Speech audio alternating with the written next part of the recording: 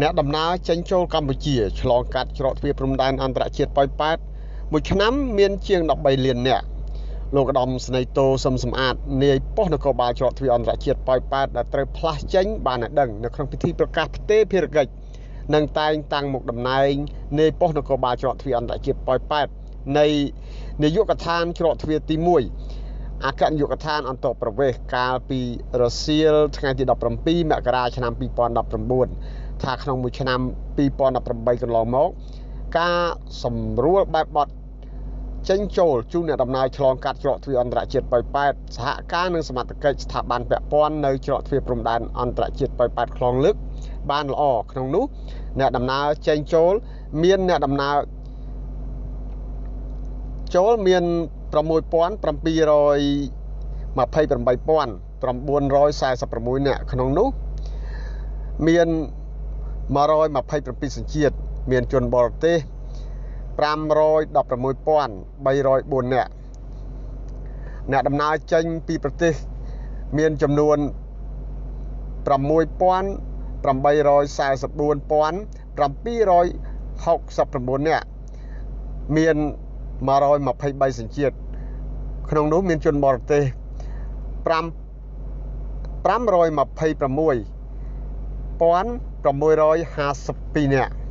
ចំពោះកិច្ចសហប្រតិបត្តិការប៉ុស្តិ៍បានសហការយ៉ាងល្អជាមួយនឹងសមត្ថកិច្ចនិងអាជ្ញាធរពាក់ព័ន្ធច្រកទ្វារនិងអាជ្ញាធរដែនដី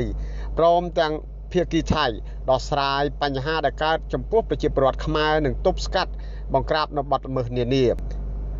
លោកងៅមេងជ្រួនអភិបាលរងខេត្តបន្ទាយមានជ័យក៏ដូចជាឯកឧត្តមនាយឧត្តមសេនីយ៍ ខុនសម្បូរអគ្គនាយករងនៃអគ្គនាយកដ្ឋានអន្តរប្រវេសបានសាទរនិងណែនាំដល់នាយប៉ុស្តិ៍ក៏ដូចជានាយរងនាយផ្នែកមន្ត្រីនគរបាលប៉ុស្តិ៍ច្រកទ្វារអន្តរជាតិប៉ោយប៉ែតទាំង105នាក់បន្តខិតខំបំពេញភារកិច្ចឲ្យបានល្អបន្ថែមទៀតនាយឧត្តមសេនីយ៍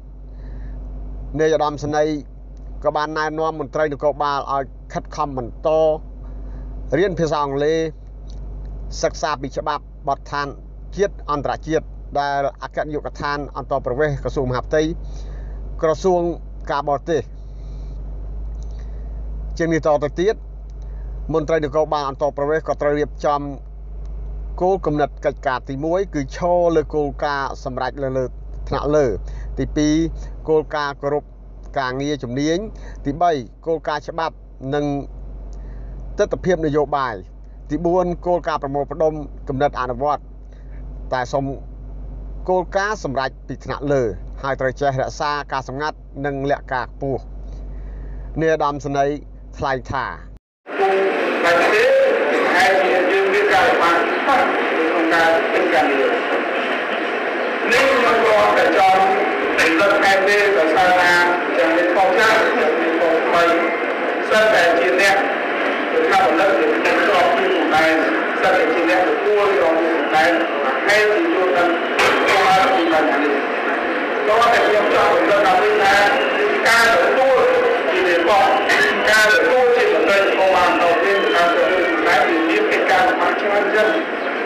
វាមិនមែនជាការងារស្រួលឡើយ